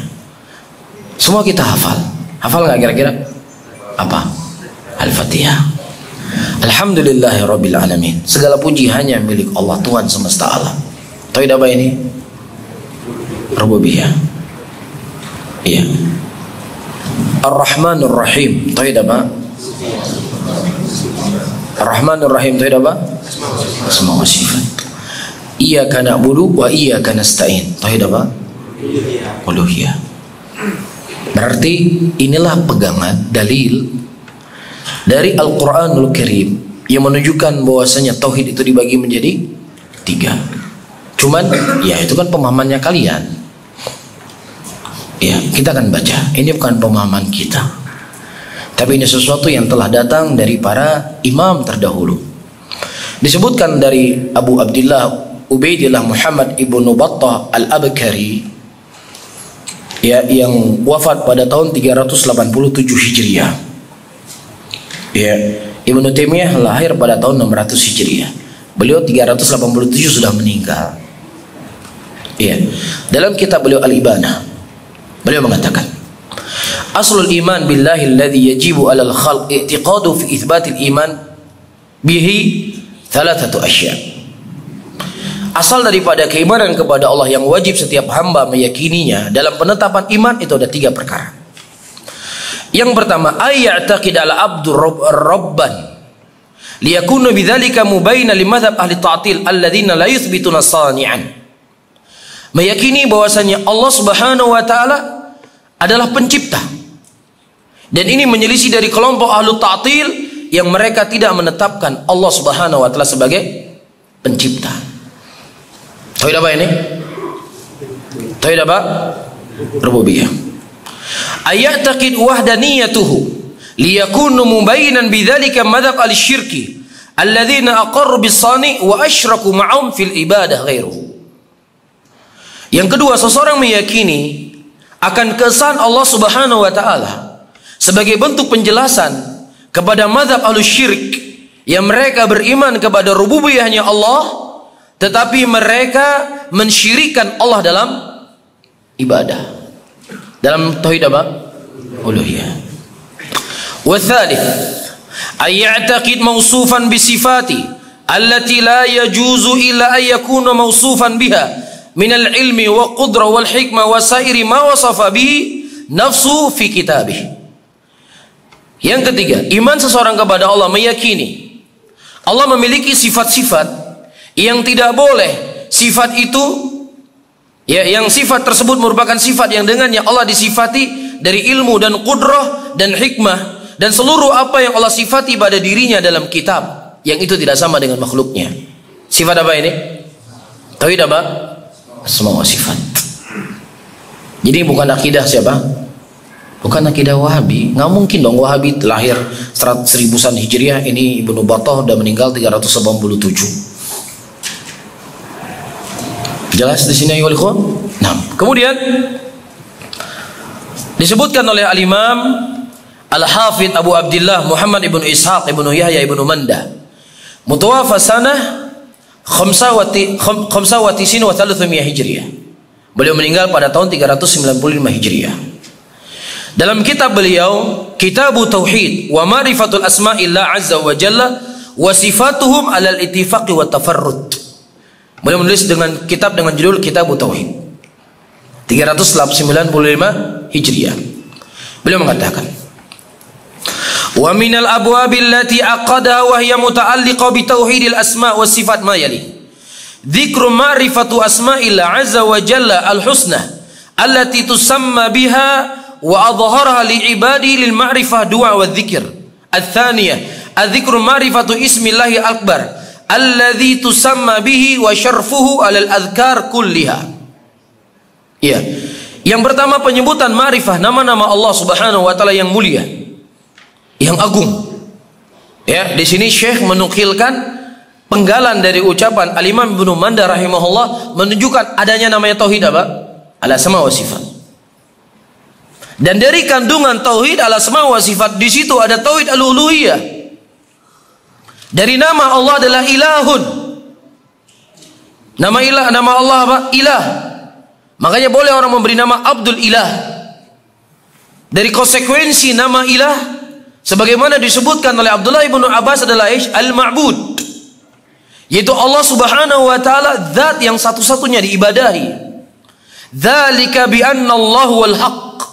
Dan dia adalah Allah, Tuhan yang disembah secara hak dan sesuatu yang disembah selain Allah adalah sembahan yang batil dan lazim zat yang itu satu-satunya yang diibadahi maka dialah yang menciptakan kita.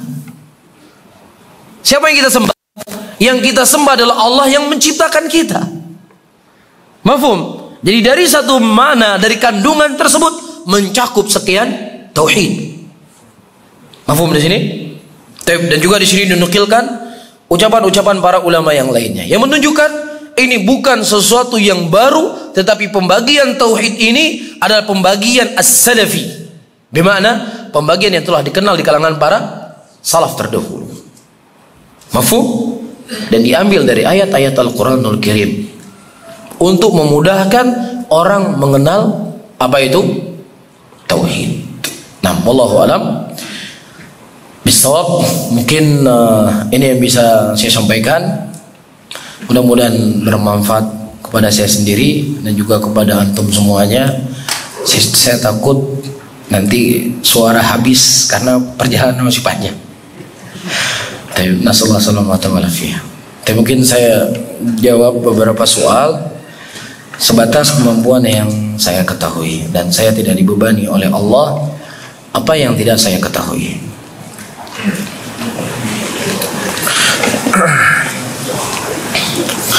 Semoga Allah selalu melindungi Ustaz Amin. Barakallahu dan memudahkan niat baik Jazakumullah khairan.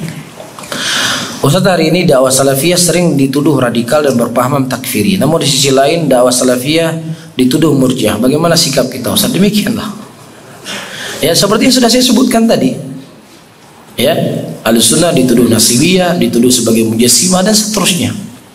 Setiap poin-poin yang kita berusaha untuk menjelaskan kepada muslimin, maka di situlah akan mulai orang-orang kan membenci.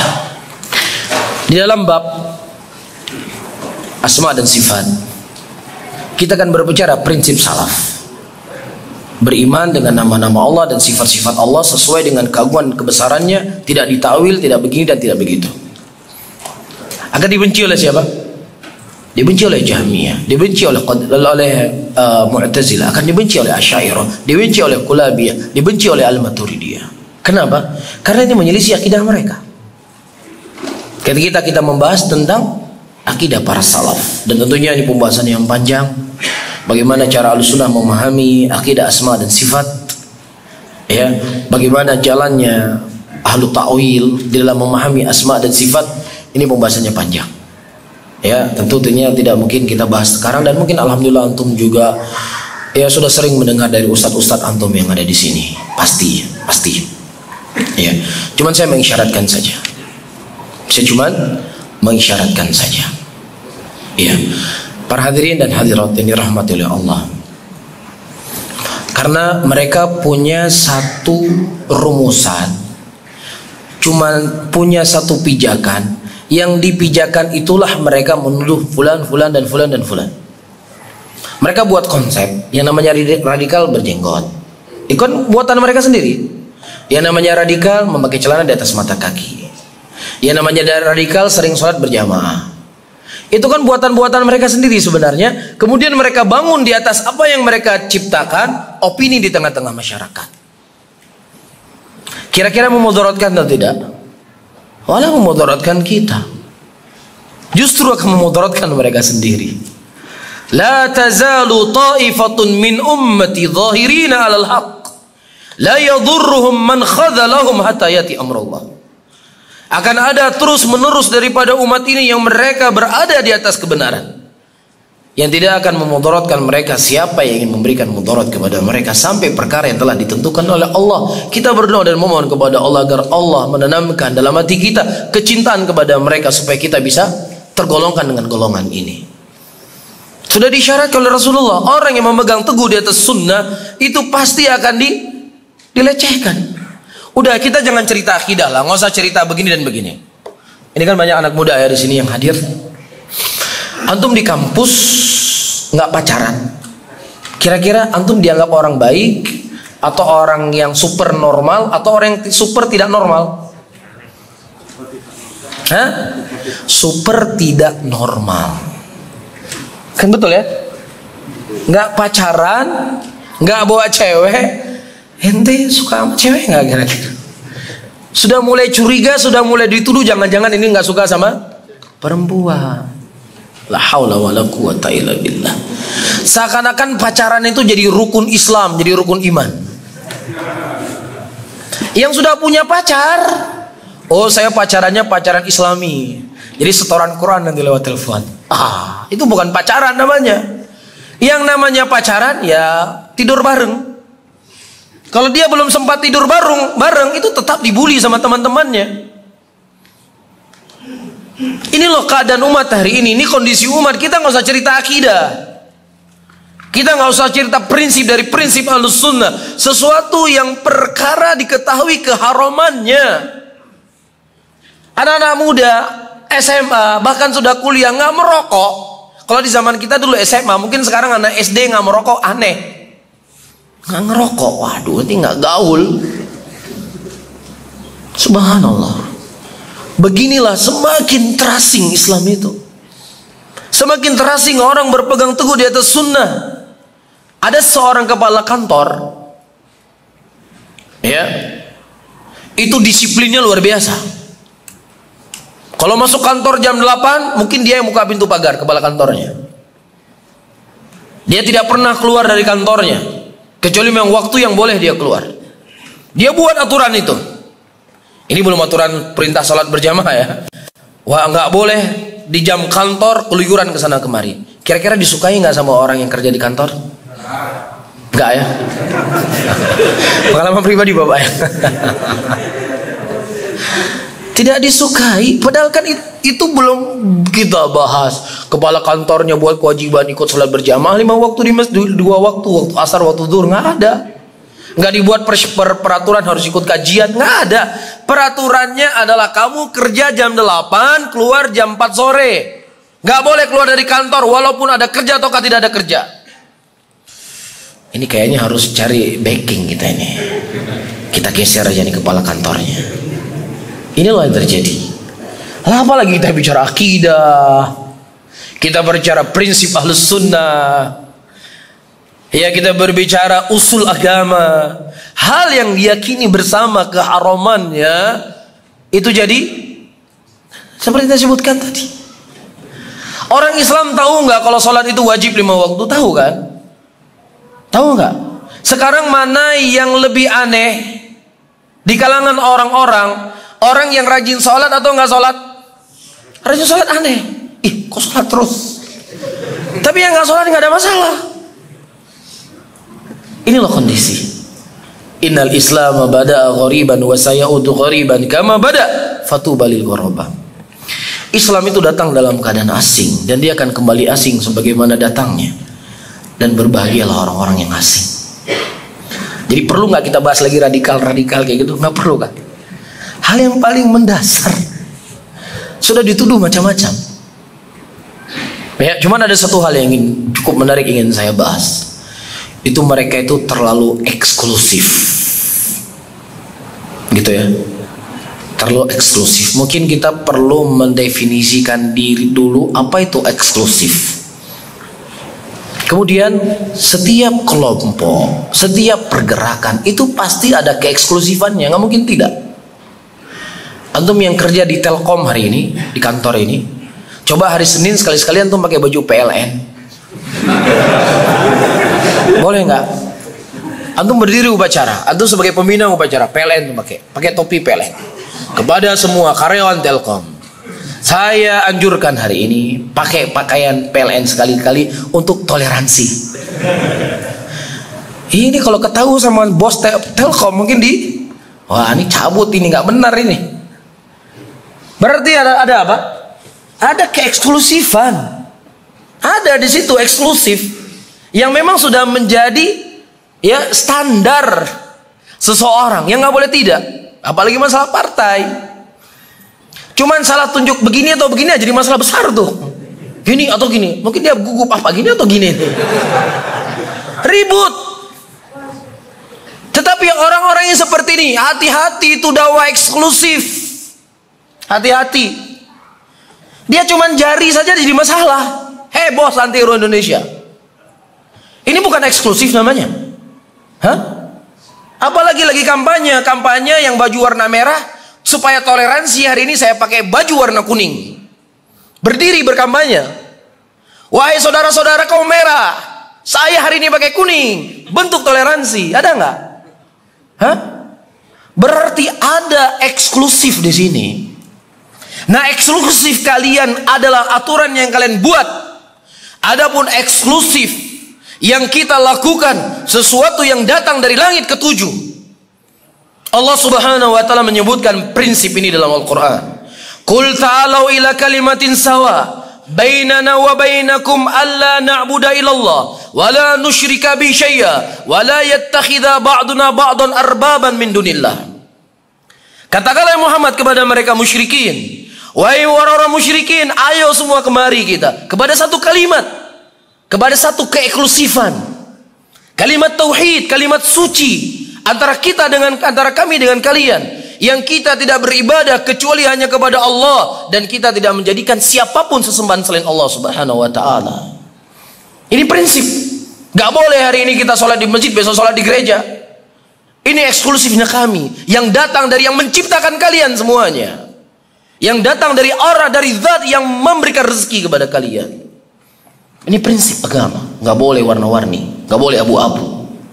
Tapi ketika yang itu bentuknya bukan perkara yang seseorang tidak perlu eksklusif insya Allah. Ahlus sunnah adalah orang yang paling berada di paling depan insya Allah.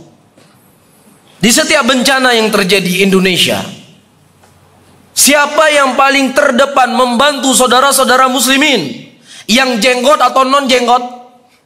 Hah? Antum pernah terjun ke tempat bencana? Pernah ya? Yang paling banyak terjun yang jenggot atau non jenggot? Hah? Ada nggak ketika kita membantu mendata Kasus yang ada di Palu, saudara-saudara kita muslimin kena bencana di Aceh dulu ketika terjadi gempa di Pidijaya setelah tsunami. Semuanya mohon maaf ya, semuanya orang berjenggot, semuanya orang jingkrang ke sana. Dari Roja TV, dari Peduli Muslim, dari mana-mana. Semua dari orang-orang yang dianggap eksklusif. Dan nggak pernah kita mendata mana yang non jenggot dan yang jenggot yang dikasih bantuan nggak ada. Seluruh saudara kita muslimin kita berhak untuk membantu mereka. Bahkan kalaupun ada orang kafir yang memang membutuhkan bantuan kita kasih bantuan. Posko alus sunnah di kota Palu orang Kristen datang situ minta bantuan diberikan karena di sini nggak ada keeksklusifan kita di sini. Ini adalah sosial kemanusiaan yang harus dibantu siapa pun dari kalangan muslimin. Tapi ada perkara-perkara yang kami harus eksklusif di situ. Sebagaimana kalian juga punya eksklusif. Tetapi kalian adalah keuntungan dunia kalian. Adapun kita ada prinsip yang diajarkan oleh pemilik jagat raya ini yaitu Allah Subhanahu wa taala. Siba difahami oleh Nah, yang namanya syubhat intinya kalbetil angkabut Ya namanya syubhat itu seperti sarang laba-laba. Lemah. Namun itu akan lemah juga kalau kita tidak belajar. Butuh ilmu, butuh kita semangat terus belajar. Karena syubhat di hadapan kita itu begitu banyak. Yang bisa menggiring kita kepada jalan-jalan yang tidak diridhoi oleh Allah Subhanahu wa taala. Kemudian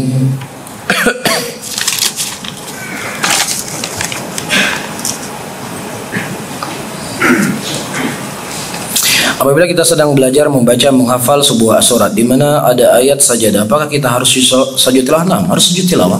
Kapan kita membaca ayat yang ada surat tilawahnya atau sujud tilawahnya, ya maka kita sujud.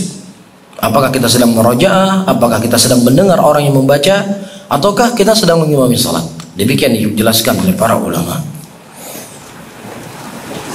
Ada yang bertanya, ikhwan wajib salat ikhwan wajib sholat di masjid. Nah, kalau sholat di rumah berjamaah dengan istrinya lebih afdal mana? Lebih afdal di masjid. Ya, kalau sama istri nanti di malam hari. Ya, kalau sholat nggak boleh sama istri lebih afdal. Kalau sholat di masjid. Datang beberapa riwayat hadis dari Nabi Shallallahu Alaihi Wasallam. Pada waktu itu ada seorang sahabat yang buta yang meminta izin kepada Nabi Shallallahu Alaihi Wasallam untuk bisa sholat di rumahnya karena tidak ada yang mengantarnya. Rasulullah tidak memberikan izin. Ya Rasulullah tidak memberikan izin selama engkau mendengar adzan. Nah orang yang buta saja tidak diberikan uzur oleh Rasulullah untuk sholat di rumahnya, apalagi orang yang tidak tidak buta. Ini antara dalil-dalil yang digunakan oleh para ulama Islam akan wajibnya sholat berjamaah. Ya, dan juga datang hadis Rasulullah ingin membakar rumah orang-orang yang tidak hadir bersalat berjamaah. Dan juga datang riwayat orang-orang munafikin itu paling berat salat subuh dan salat isya. Karena apa? Karena salat subuh dan isya tidak ada penerang. Jadi tidak diketahui siapa yang salat.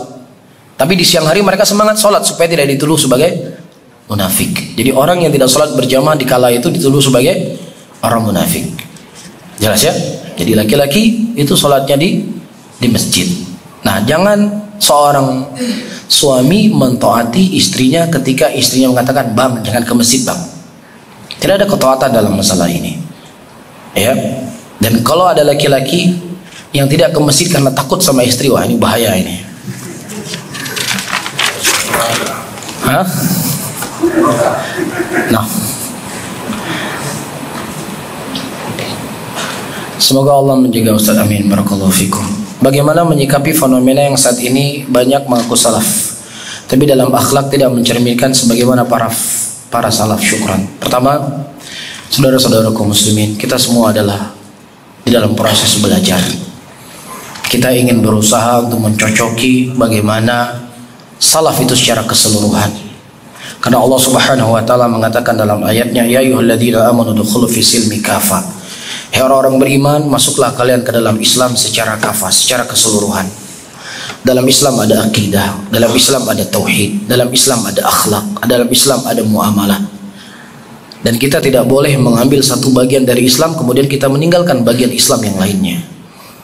Dan masuknya seseorang ke dalam surga atau ke dalam neraka bukan hanya dalam masalah akidah saja. Ya, seorang wanita pelacur, dia memberikan minuman kepada seekor anjing. Memberikan minuman kepada seekor binatang yang najis menyebabkan dia masuk surga. Kan begitu. Ada seorang wanita yang salehah yang menjaga dirinya, menjaga batasan-batasan dia dengan Allah, tetapi dia kurung seekor kucing yang kemudian kucing tersebut mati menjadi sebab dia masuk dalam neraka. Mafhum di sini? Berarti ada perkara-perkara akhlak yang perlu kita perhatikan. Ada perkara-perkara ya sifat yang harus kita benahi dalam diri kita. Dan antum juga yang sebagai penilai jangan difahami Orang yang sudah menjadi sudah kenal sunnah, sudah istiqomah, berarti harus akhlaknya langsung seperti Rasulullah. Itu juga tidak mungkin kita dapat. Butuh proses. Dan proses itu juga bukan alasan bagi kita sebagai pelaku. Kita berusaha untuk memperbaiki diri. Sehingga hijrah kita bukan hanya hijrah dari sisi pakaian, tapi kita hijrah dari hati kita. Iya, hijrah yang benar-benar tulus kepada Rasulullah sallallahu alaihi wasallam, mengikuti sunnah beliau yang benar-benar menghambakan diri kepada Allah Subhanahu wa taala. Iya, bukan hijrah hanya bentuk pakaian. Anda melihat bagaimana para sahabat Rasulullah. Karena kebiasaan orang-orang yang mau hijrah ya dia bisa mengubah pakaiannya, tapi terkadang hobi, nah itu sulit untuk dia lepaskan. Nah, kalau hobinya hal yang baik ya alhamdulillah. Ini hobinya hal yang tidak tidak baik. Minuman keras adalah sesuatu yang paling digemari oleh penduduk Mekah pada waktu itu, sahabat Rasulullah di dalamnya. Sampai-sampai Allah menurunkan ayat empat kali tentang proses pengharaman khamar. Ketika Allah menurunkan ayat khamar pada waktu itu, Anas bin Malik sedang menuangkan minuman keras di gelas-gelas. Ketika mereka mendengar Allah mengharamkan itu, langsung mereka hancurkan. Di detik itu juga mereka hancurkan. Menyambut panggilan Allah Subhanahu wa ta'ala sebagai bentuk ketaatan kepadanya. Berarti ada sesuatu dalam hati ini kita yang harus kita perbaiki. Ya, kalau seandainya pakaian mudah seperti yang saya sebutkan tadi. Ada sesuatu yang paling mendalam dalam hati kita ini agar begitu datang sunnah Rasulullah, datang dari perintah Allah, mudah untuk kita jalani. Ini harus kita benahi. Dan kalau kita melihat sedikit kita berbicara dari akhlak yang mulia dimiliki oleh Rasulullah dan tentunya tidak akan mungkin kita akan bisa membahas akhlak mulia dimiliki oleh Rasulullah karena begitu luas akhlak beliau. Cuma ada satu hal yang ingin saya sampaikan Rasulullah Sallallahu Alaihi Wasallam hampir beliau tidak pernah mengatakan tidak. Kalau ada orang yang meminta sesuatu dari beliau, tidak, nggak ada. Kalau beliau menolak, beliau memilih kalimat-kalimat yang tidak membuat orang lain tersinggung. Disebutkan dalam beberapa riwayat hadis. Pertama, Rasulullah mengkhabarkan ada 70 ribu orang yang masuk surga tanpa adab dan tanpa hisab. Yang mereka la yastarqun wa la yaqtawun ya wa la yatatayyarun wa ala rabbihim yatawakkalun. Berdiri Ukasha, Ya Rasulullah, Allahu li an akuna minhum. Ya Rasulullah, doakan saya ya Rasulullah agar Allah memasukkan saya dari 70 ribu orang yang masuk surga tanpa adab dan tanpa hisab. Anta minhum, kata Rasulullah. Kemudian berdiri sahabat yang lainnya. Ya Rasulullah, Allahu li an akuna minhum. Ya Rasulullah, doakan juga ya Rasulullah supaya saya seperti mereka. Seperti dia. Apa kata Rasulullah? Nggak ada Rasulullah mengatakan ente tadi ke mana tidur ente? Nggak ada. Gak ada, gak ada waktu saya. Gak ada. Rasulullah mengatakan, Qad sabaqaka Ukasha. Sahabatmu Ukasha telah mendahuluimu. Coba kamu duluan, mungkin kamu yang dapat. Ketika Rasulullah menolak, tapi ada motivasi di situ dari Rasul Sallallahu Alaihi Wasallam, bukan ingin menjatuhkan, bukan membuat orang kurang semangat.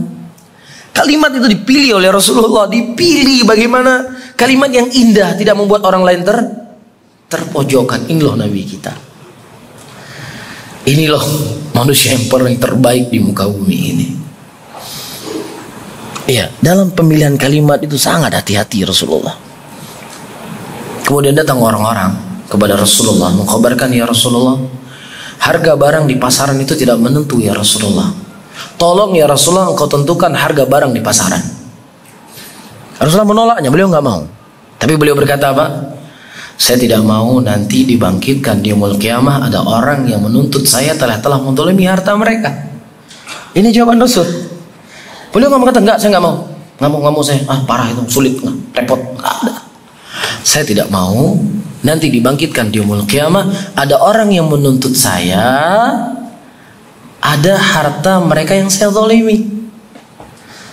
Orang kan ketika mendengar jawaban seperti itu, oh iya, bukan dia nggak mau, bukan dia malas, tapi memang kekhawatiran dari dia. Kan begitu kan? Yang ketiga, waktu itu Rasulullah diminta oleh Fatimah radhiyallahu taala anha seorang pembantu yang bisa membantu beliau bekerja mengurusi anak-anaknya. Rasulullah juga menolak. Tapi beliau menolak tidak mengatakan tidak. Beliau mengatakan, "Wahai Fatimah, maukah aku tunjukkan kepada engkau yang lebih baik daripada itu semuanya?" Yaitu engkau berpikir sebelum engkau tidur, maka engkau akan diberi kekuatan sama seperti orang yang punya pembantu. Ini adalah cuplikan kecil dari akhlak Nabi kita Muhammad sallallahu alaihi wasallam. Sehingga antum harus punya semangat mempelajari bagaimana akhlak Rasulullah sebagai seorang suami, bagaimana akhlak Rasulullah sebagai seorang anak, bagaimana akhlak Rasulullah sebagai seorang teman, bagaimana akhlak Rasulullah sebagai salah seorang masyarakat, bagaimana akhlak Rasulullah sebagai seorang hamba dari hamba Allah.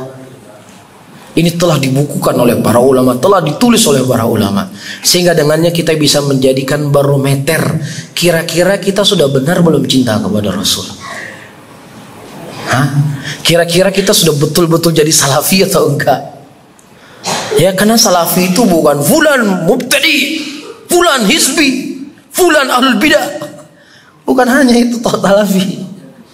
Karena orang memulai salafi semakin kencang kepada orang ah, makin kokoh salafinya. Enggak. Salafi ya yuhannam udkhulu fi silmi kafah. Masuklah kalian ke dalam Islam secara kafah. Itulah sunnah Rasulullah secara keseluruhan akhlak di dalamnya, akidah dalamnya, tauhid di dalamnya, manhaj di dalamnya, seluruh ajaran Rasulullah sallallahu alaihi salatu wasallam karena ada ketika kurang akhlak kita jadi sebab kita masuk neraka. Hadis yang saya sampaikan tadi. Nggak penting akhlak itu nggak penting, yang penting manhaj kita. Memang ini wallahi ya oleh orang yang ngerti manhaj itu. Nggak ngerti apa itu salaf, nggak mengerti apa itu akidah tauhid. Ya, jadi semua itu harus kita pelajari, semua harus kita amalkan. Ya, namun orang-orang yang menilai harus ber harus bersabar. Teman-teman yang baru ikut pengajian, jangan terlalu tinggi ekspektasinya terhadap orang yang sudah mengenal sunnah. Ini penting untuk diingatkan. Jadi jangan antum berpikir sudah mengenal sunnah sudah seperti malaikat Jibril. Bisa saja orang yang sudah mengenal sunnah dia hutang sama antum dia nggak bayar hutang. Bisa itu. Ya, bisa saja dia pakai sendal antum tanpa izin, bisa. Jadi antum pikir, ya, saya ikut pengajian sunnah, tiba-tiba sendal saya dipakai. Baru dibawa pulang satu jam setelahnya. Itu bisa saja antum dapatkan. Kecuali kalau ada majelis, para malaikat, kita bisa ngumpul di situ. Ha, baru aman kita. Ada majelis malaikat Jibril. Ya pendengarnya malaikat Mikail, malaikat Ridwan. Nah, kita bisa nimbrung di situ. Nah, insya Allah aman. Tapi kalau masih berhubungan dengan yang namanya Ahmad, yang namanya Saleh, yang namanya Abdullah, yang namanya Ismail, yang namanya Rudi, yang namanya Dedi, yang namanya Deni, yang namanya Sinta, yang namanya Desi, dan seterusnya, dia itu manusia, pasti kita akan melihat kekurangannya. Maka jangan melihat orangnya, melihat ajarannya. Karena kalau Anda melihat orangnya, Anda akan hilang Iya, ada satu ibroh mungkin saya pernah ceritakan kemarin saya ceritakan. Salman Al Farisi radhiyallahu taala anhu. perjalanan hijrah beliau dari agama Majusi berpindah kepada Nasrani kemudian bertemu dengan Rasulullah iya setelah dia keluar dari rumah bapaknya yang biasanya dia nggak boleh keluar dari rumah keluar akhirnya waktu itu Allah telah mencatat dia keluar dari rumahnya tiba-tiba dia melihat gereja dia masuk ke dalam gereja dia mengatakan sesungguhnya agama ini lebih baik dari agamaku di mana asal agama ini antarkan saya kepada agama itu Diantarkanlah dia ke negeri Syam, tempat munculnya agama Nasrani. Apa yang terjadi? Dia telah memberikan uang yang sangat banyak, dia meninggalkan hartanya, meninggalkan orang tuanya, meninggalkan kampung halamannya untuk mengenal agama Nasrani pada waktu itu. Tiba-tiba dia mendapatkan pendeta pencuri. Iya, dia disuruh disuruh orang untuk bersedekah, uangnya diambil masuk kantong dia. Ujian nggak kira-kira? Ujian nggak? Ini orang baru hijrah ini. Ujian besar. Kalau seandainya Salman Al-Farisi pada waktu itu melihat pendeta itu, oh gini ternyata agamanya ya. Aku tinggalkan kampung halaman dapat korang seperti ini sudah move on. Pulang balik ke kampung halaman. Tapi tidak. Salman Al-Farisi meyakini ini agama yang benar, ini oknum. Dia ini orangnya, bukan agamanya. Kesabaran beliau akhirnya beliau mendapatkan pendeta yang baik. Yang akhir dia mendatangi pendeta yang terakhir. Dia bertanya, wahai pendeta, wahai guruku, siapa yang bisa aku ambil ilmu? Setelah mewafatnya engkau. Kata pendeta ini sudah tidak ada satupun pendeta di negeri ini yang berjalan sama sepertiku dan kedua pendeta dan dua sahabatku yang telah mati sebelumnya. Berarti pendeta zaman dulu juga milih-milih loh jadi pendeta untuk ditunjukin siapa yang bisa diambil ilmunya. Gak semua orang ditunjukin. Kalau sempat Salman Al Farisi ditunjukin kepada pendeta ahlul bid'ah, mungkin dia nggak bertemu dengan Rasulullah. Kan pendeta banyak kan? Apa kata beliau? Tidak ada satupun pendeta, padahal di Syam itu loh, tempat agama Nasrani. Tidak ada satupun pendeta yang berjalan sepertinya jalan aku dan dua dua sahabatku sebelumnya. Tunggulah datang seorang nabi ia akan hijrah ke sebuah negeri yang banyak pohon kurmanya dan banyak bebatuan. Berangkatlah Salman Al-Farisi bertemu dengan Habibur Rahman Khalilullah Nabi Muhammad sallallahu alaihi salatu. Tapi kalau beliau salah memilih guru, ya, jangankan untuk mengikuti agama Rasulullah, agama Nabi Isa sendiri sudah diubah-ubah. Gimana dia akan puas dengan agama Rasulullah? Tapi pendeta yang lurus, pendeta yang sunnah, sunnah ya bahasa kita ya. Pasti akan ditujukan kepada yang yang sunnah pula. Jadi penting gak memilih guru dalam belajar? Penting. Ya, Anda katakan eksklusif, silakan. Gak ada masalah. Tidak memudaratkan kami. Ya, tidak akan memberikan kecelakaan buat kami. Silakan Anda menilai. Ya, pertanggungjawabannya bukan kepada Anda. Mohon maaf pertanggungjawabannya kepada Allah kan begitu ya seperti ucapannya kaum Nabi Musa kepada Fir'aun ketika Fir'aun ingin mengancam membunuh mereka menyalib mereka apa kata mereka qalu lan nu'thiruka ala ma ja'ana minal bayinat faqdi ma anta qadin innama taqdi hadhil hayatud dunya Wahai Fir'aun, lakukanlah. Wahai Fir'aun, tidak memberikan pengaruh sedikit pun kepada kami dari ancamanmu. Ya, setelah datang kepada kami bayinat penjelasan dari Musa. Kamu ingin membunuh kami, silakan. Ingin menyalib kami, silakan. Ingin nyiksa kami, silakan. Ingin ngomong kami, bahasa saya radikal, silakan. Ingin kata kami eksklusif, silakan. Ingin kata kami wahabi, silakan. Tapi ingat, Kalian hanya bisa, kamu Fir'aun hanya bisa melakukan di dunia ini saja. Karena kamu berkuasa. Tapi di akhirat kamu tidak akan bisa jauh lari dari apa yang kau lakukan hari ini di hadapan Allah. Luar biasa ya. Inilah ketauhidan. Inilah buah dari ilmu. Ini buah dari tabat. Ini buah dari keikhlasan. Mafhum? Nah, Allah alam Sudah cukup ya. Mudah-mudahan biar ada sisa suara. Ya, Allah alam bisawab. Mohon maaf atas segala kekurangannya. Mungkin ada kalimat-kalimat yang tidak pantas terucap terucapkan oleh saya. Allah alam bisawab. Saya akhiri Allahumma salli ala Muhammadin wa ala alihi wa ashabihi wa man tabi'ahum bi ihsanin ila yaumiddin. Assalamualaikum warahmatullahi wabarakatuh.